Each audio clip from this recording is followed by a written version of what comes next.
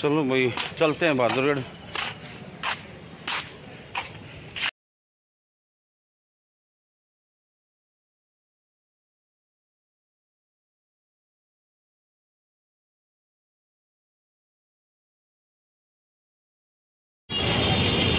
टोपी तो यार यही बढ़िया है, लीली लाल या।